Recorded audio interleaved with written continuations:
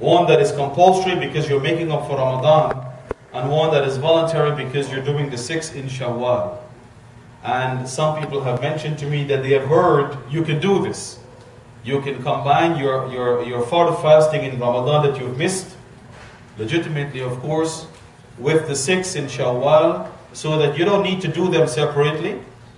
If, for example, you've missed three days in Ramadan, you can simply do three days in Shawwal with the niyyah of Shawwal of fasting the six voluntary fasts, as well as the fast that you missed in Ramadan, and then the other three days will make up the, the, the additional three for the six in Shawwal. So in effect, you're only fasting six days. The answer is no, you cannot do that. And so the idea that this is permissible is wrong, it's incorrect. Why? Because to begin with, making up for the days that the person has missed in Ramadan is fard, it is wajib, this is compulsory. And fasting the six days of Shawwal, this is this is nafil, voluntary. You cannot combine with the same niyyah something that is compulsory and voluntary at the same time. This is why, this is exactly why you cannot pray the fard of dhuhr and intend it to be the sunnah before and after dhuhr either. Your niyyah has to be either fard or wajib or sunnah. You can't combine both. You cannot do that. Because each type of fasting is sort of separate. One is compulsory, you have to fast. The other is not compulsory. You choose to fast. So you're not allowed to do that. Furthermore, if a person were to do that, then this is a bit problematic if you if you if you look at the math side of things.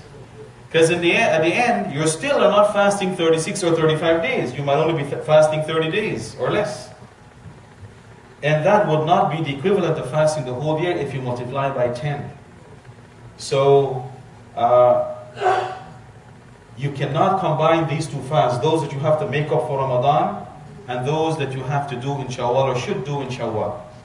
The other question that arises as well is whether or not a person should make up for the fast missed in Ramadan first and then fast the six days in Shawwal.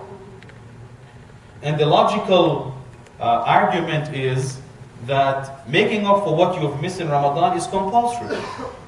Fasting the additional six days in Shawwal is voluntary. And logically, it will seem that doing what is compulsory is more important than doing what is voluntary. Now, there's nothing wrong with this logical argument. What is wrong, though, with it is that there is no evidence within the Sunnah or the Quran for this. In fact, we have evidence to the contrary. You see, brothers and sisters, in as much as the, the six days of Shawwal are voluntary and not compulsory, they're still constrained by time. They're limited to the month of Shawwal, that's it. After Shawwal ends, that's it. You've missed it if you haven't done it. While making up for the fasting missed in Ramadan, in as much as it is still compulsory on the individual, it's wajib, it's a duty, the person still has a lot more time flexibility to make up for these days. So the six days of Shawwal are limited to just Shawwal, 30 days at most. And if you take out the day of Eid, it's 29, and if the month has 29 days, it's only 28 days. So 28 days you have uh, uh, to make to do the six. While making up for Ramadan, you have until the next year. Now, Imam Bukhari has told us in his Sahih that the wives of the Prophet والسلام, and this is a hadith narrated by Aisha radiallahu anha, that very often the wives of the Prophet والسلام, would not get time to make up for the fast that they have missed in Ramadan the year before until Sha'ban of the next year. In other words, until the month before the next Ramadan comes in. Almost a year.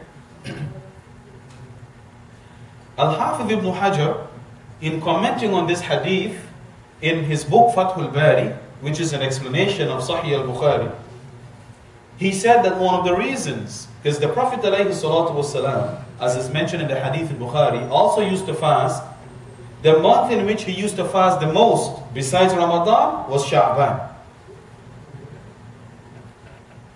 If you take out Ramadan from the picture, Sha'ban is the month he would fast the most. Not the whole month, but most of the days of Sha'ban. Ibn Hajar commented on, the, on, on why. Why is this so? And one of the reasons he gives is that this is the time, based on the hadith, that the wives of the Prophet ﷺ would make up for the fast that they had missed in Ramadan. And the Prophet ﷺ, in order to support them, he would fast with them. Because he didn't want not to be fasting, and his wives are fasting, and then they now have to prepare meals for him.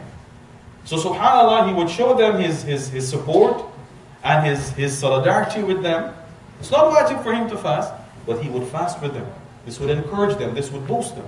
Right? We all know this. When we fast in Ramadan, the spirit is different than if you try to make up after. It's a little bit more difficult. If the family does it together as well, it, it, it encourages you. Right? The presence of your the family members uh, acts, uh, acts as an as a encouragement. So we know from this that there is no time limit per se, or, or the time for making up for Ramadan is not as restricted as the six days of Shawwal.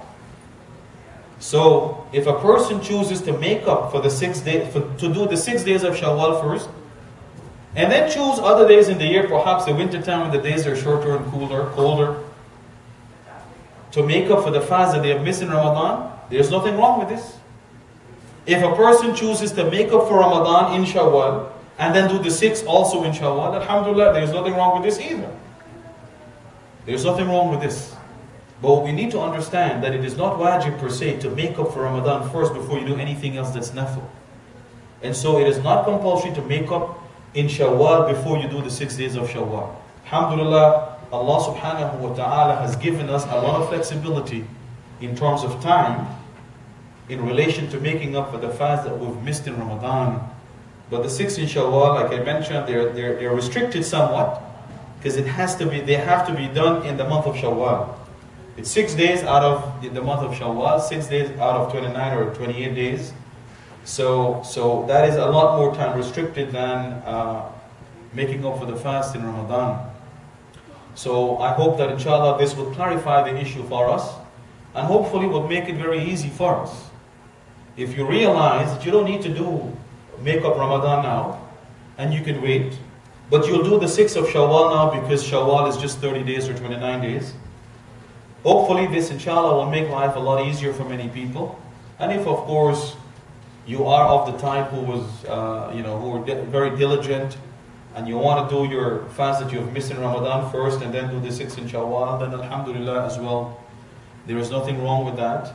But for anyone who chooses to delay making up their, their Ramadan fast till a much later date, there is no sin or anything negative attached to, to, to this individual.